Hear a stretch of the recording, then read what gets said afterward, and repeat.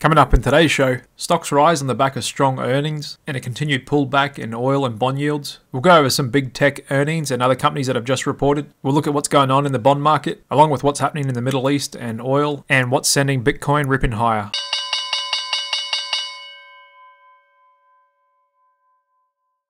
Hey, what's up, guys? Welcome back to the Click Capital Daily Market Show. I'm your host, Jared, and I'm going to get you updated with everything that's going on out there in the financial markets. And we are just getting into the thick of Q3 earnings season, which helped stocks finish pretty good here today. Mostly green across the board, with tech leading the way. It was only really energy, oil, and gas stocks that came down after a continued pullback in crude. Then we saw some good pops in utilities, with one of my favorites, NextEra Energy, up almost 7%, along with 3M up over 5%, and Verizon up over 9%, all on the back of good earnings, which I'll get into a bit later on in the charts. However, we just had the two big ones report Google and Microsoft after hours. First, we'll take a look at Microsoft, the second biggest stock in the market. They just posted revenue of 56.5 billion, that's up 13% from a year ago, and more than 2 billion ahead of Wall Street estimates and earnings per share came in at $2.99, ahead of consensus as well, which was $2.65 a share. The Azure cloud business grew 28%, and so one of the strongest stocks of the last couple of years continues to remain strong. And even though we've been drifting sideways here for a few months, the market seems to like this latest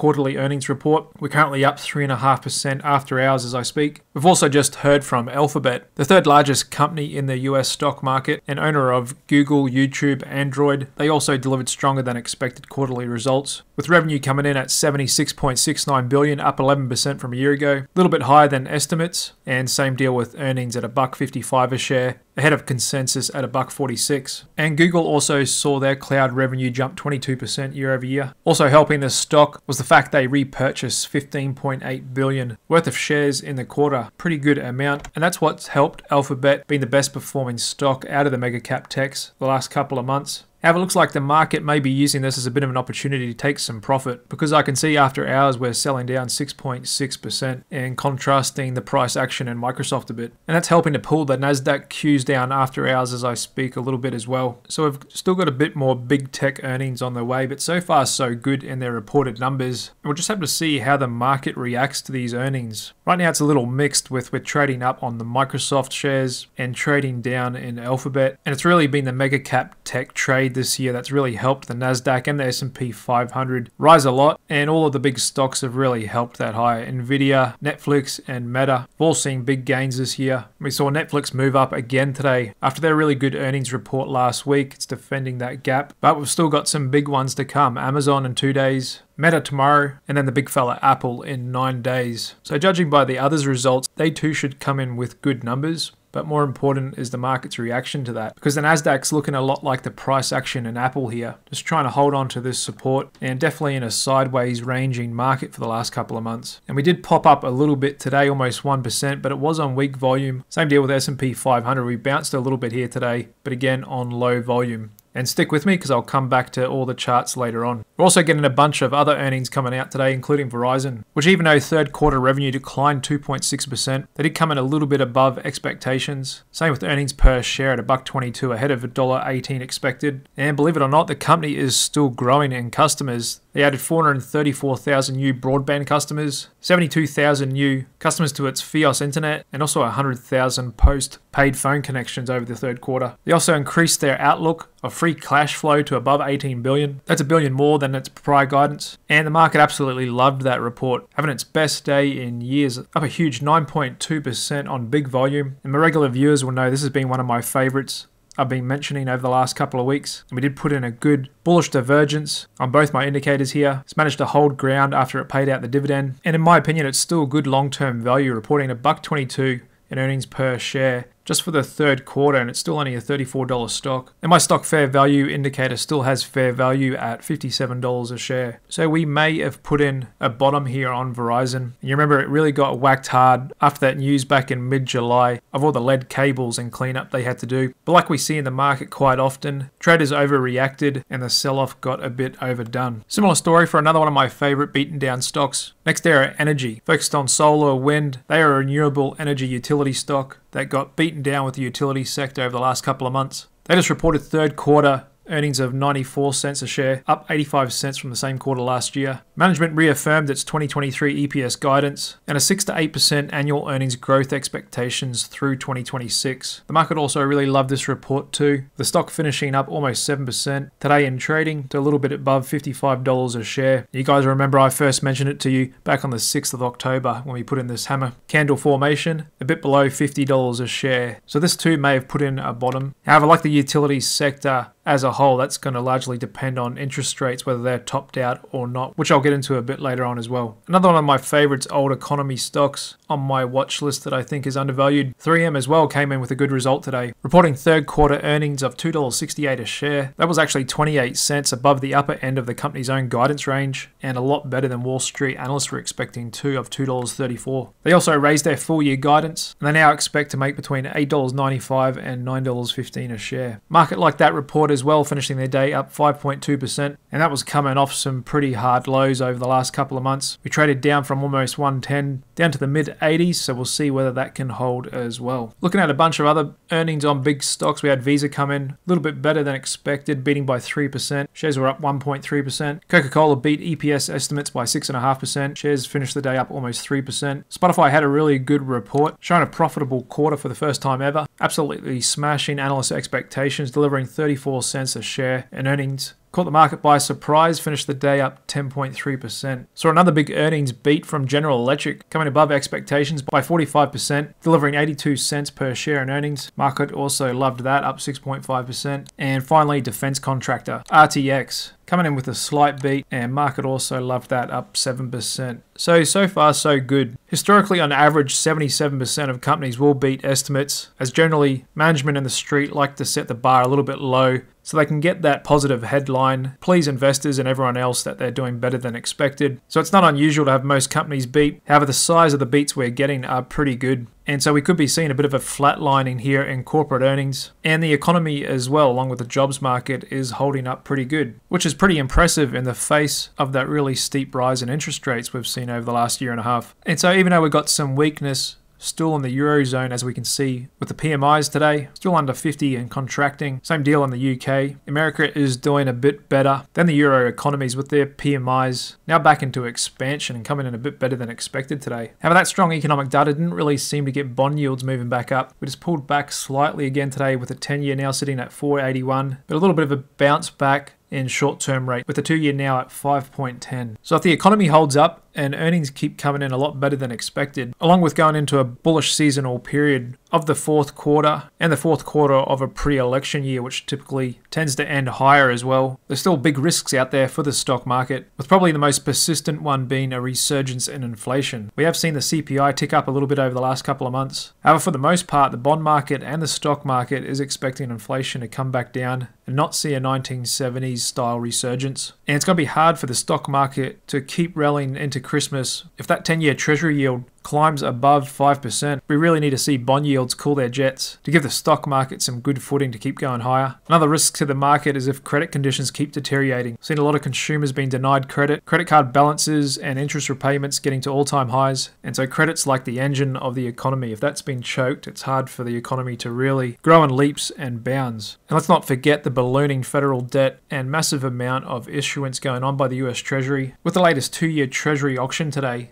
seen soft demand, signaling that investor enthusiasm for treasuries continues to weaken amid concerns over the federal deficit and path of interest rates. And so, even though the yield came in as expected on the auction 5.05%, it was the other important metric used to judge the success of an auction. The bid to cover ratio coming in at 2.64. That's lower than the average of the last six auctions of 2.82. And basically, a falling bid to cover ratio typically means there are fewer bids relative to the amount of debt being offered, indicating less robust interest from investors. So primary dealers will buy up that supply not taken by bidders, and they had to accept 17.6% of the notes sold. And that's the largest take since April. And that was on the back of a weak sale for a 30-year bond earlier this month, although the recent 20-year bond did do okay. But like some analysts are saying, there's nothing stopping the 10-year treasury from continuing to surge. Just because Bill Ackman came out and covered his treasury short doesn't mean for sure that the bond market has bottomed and yields have topped. And like this analyst says, if we're going to completely uninvert the yield curve, and I think we're destined to do that, or somewhere along those lines, then it's going to go at least 5.5%. And that's because when we uninvert, short term rates will hold steady with the view that the Fed is done our long term rates will keep climbing to get back to a normal uninverted state of a yield curve. And just like two of the biggest names on Wall Street are saying, JP Morgan's Jamie Dimon and BlackRock's Larry Fink, they both see parallels to the 1970s. And it is kind of a similar setup to the 1970s, what we've got going on now, especially over in the Middle East, which we could be on the verge of a whole regional conflict, similar to the Yom Kippur War in 1973 which saw oil explode higher along with inflation and interest rates a lot higher than people expected, causing the stock market to go nowhere for over a decade. And so, like as BlackRock says, the stock market may not have priced in a real chance of coming macro damage. That persistent inflation and higher rates eventually has to cause sending unemployment up and the economy into a recession, which has always been a bad thing for stocks. However, for now, like I said before, things are holding up okay, but it does take some time for those higher rates to play out through the economy. And so, even though things look really bad going into a recession, they can be a good thing because they make for really fertile ground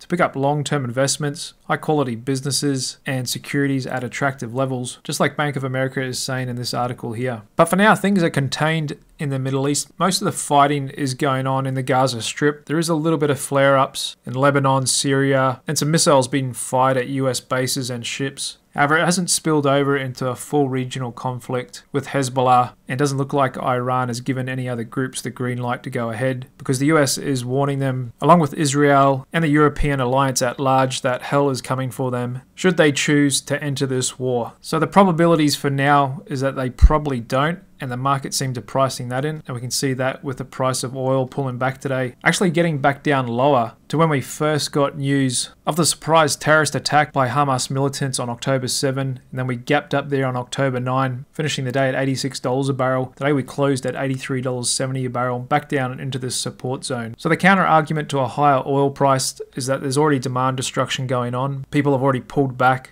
on purchasing gas the US has lifted sanctions on Venezuela and is likely stepping up US oil production as well to counteract what's going on over there. The Biden administration really doesn't want to see crude oil pop up. That's going to hurt their chances of being re elected in November next year. And it's quite possible the Saudis and the Russians, along with the Iranians, want to see crude stay around that mid 80s a barrel level, kind of their sweet spot. They don't want to see demand erode too much either. However, it could go another way, and the wild card is if Iran does enter the war, and they said they would respond if Israel does invade the Gaza Strip and send troops in there and try and physically take over it. Israel really wants to do that. Their defense force said they're ready to go. However, the Americans and Europeans are holding them back, so they try and negotiate the release of hostages and try and cool things down on both sides. So we'll just have to wait and see if Israel really does go into the Gaza Strip and what sort of response we get out of Iran and the Islamic extremist militant group known as Hezbollah on Israel's northern border, which it could already be going that way, as in recent days Iran has unleashed the regional militias it has spent years arming having launched at least half a dozen military drone and rocket attacks against bases that US troops use in southeast Syria and in western and northern Iraq. So they're right on the verge of full on coming after Israel and American bases and other military assets in the region. And so far, the American military has just been defending itself. However, if Iran and the militant groups were to step up this, we may see the US military respond by sending a couple of hundred rockets back their way. Then we're into an official Middle Eastern war, and who knows who else may join. And if that were to happen, we probably would get a pretty big oil shock, as it could actually upset production, supply, and distribution of oil coming out of the Middle East, which still make up a large part of the world's oil supply, and that would take us right back to the mid 1970s with the price action in oil, with likely inflation to follow, and it's hard to see how stocks wouldn't take a big tumble in that scenario either. But hopefully that doesn't happen. It's just a tail risk in the market, and it's not really good for anyone if it does. Moving on, you may have noticed Bitcoin ripping higher over the last couple of days. Some saying it could get up close to $50,000 by the end of the year, and we touched $35,000 today in a resistance zone on the back of more optimism and excitement that a spot Bitcoin ETF is about to come to the market for the first time. And look at that strong daily price action in Bitcoin. Maybe a bit technically overbought here with my DSI at 24, the whole candle above the buy sell band, and we looks like we touched and pinged off this big resistance zone around 35,000 and could be putting in a bit of a shooting star formation here. And just zooming out, that's the highest price we've been at all year after consolidating pretty much since March. And just looking at the weekly chart here, looks like we're putting in a higher high. We could say this is back into a medium term uptrend. Whether it's still in a long term uptrend, I think we'd have to get a bit higher. Above this big $40,000 mark will be the next one after we've just pulled back at 35,000. We may consolidate here for a bit before going higher. But it looks like the spot Bitcoin ETF is going to go through, which kind of legitimizes the asset and it's going to allow for a lot of institutional and retail money to come into the space, which then they'll have to actually buy physical bitcoins. So that is a tailwind for sure. Just moving on, looking at Fed fund futures, market's still pricing a 1 in 3 chance the Fed will hike in January. As I've been saying, we'd really have to see some hot CPI prints to come in for that to happen. Market's still in the fear zone at 32 on the fear and greed index, and still no love from the corporate insiders, only recording 27 purchases yesterday. Just getting into the charts, stick with me, I'll come back to the S&P 500 at the end of this video. We'll just quickly go over all the other markets out there, looking at international stock indices.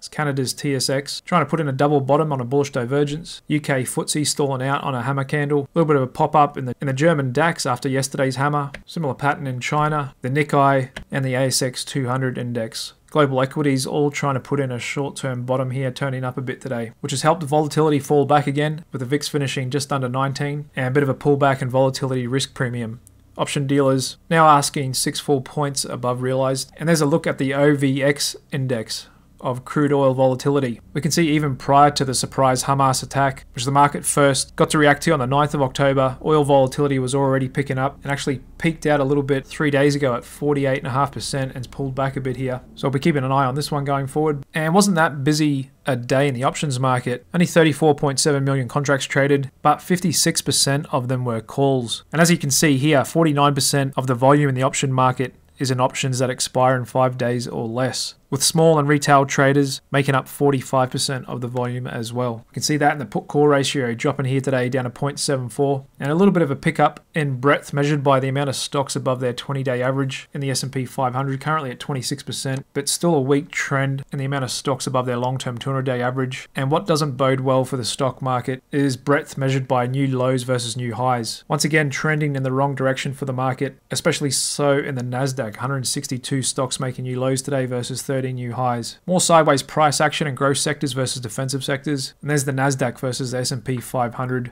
Maybe getting into a bit of an uptrend again here after consolidating these last few months. The back of those good earnings reports from the tech sector could keep that going higher. Got another bit of a bounce in TLT today, up 1.3% on the back of those yields pulling back a bit. So this market's really trying to put in a bottom here on heavy volume. Same with high yield bonds bouncing up a bit here. Dollar's holding strong above its 50-day VWAP above 106, and on the back of that fall in crude, pulled back the commodity index back below its 50, and gold stalling out a little bit after pulling back a little bit from $2,000 an ounce. Over to stock sectors, mostly a sea of green out there. Energy was the losing sector today, down 1.4%, finishing on its lows. And some of the better performing sectors were ARK, up 2.9%. Bit of a bounce in biotech after being beaten down really bad this last week, up 2.4%. And the utility sector, up 2.5% on the back of that good earnings beat from its biggest component. And my favorite, NextEra Energy. And just the latest look at Microsoft after hours as I speak, up 3.4%, but Google still being sold off, down 6.5%. Nvidia still holding on here today, up 1.6%. And same with Tesla trying to reclaim its support zone around 215. Meme stocks had a pretty good day and a little bit of a bounce back in the snack makers as well. However, still some soft price action in the financials, especially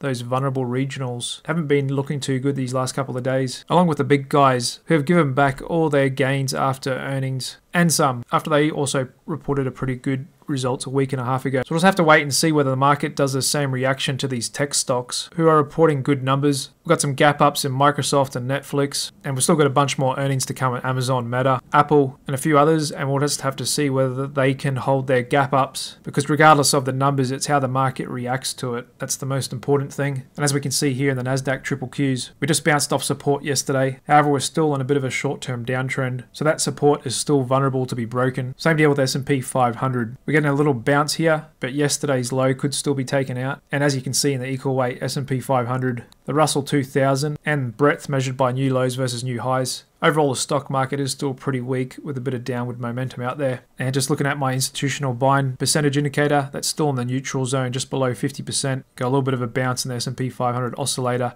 now at 44.7. So we still might get a little bit more of a bounce here in the market. However, if we can't close above 4,300 in the next couple of days with conviction, then the market's still vulnerable to rolling over. We haven't had a huge pullback in yields yet, and things in the Middle East could still spill over. Other than that, the stock market's really hanging its hat on some really good earnings coming through of which we saw a few today, and we'll keep getting a bunch more out throughout this week into next. That's all for today. Thanks very much for sticking with Click Capital, and hope to see you again tomorrow afternoon. Cheers.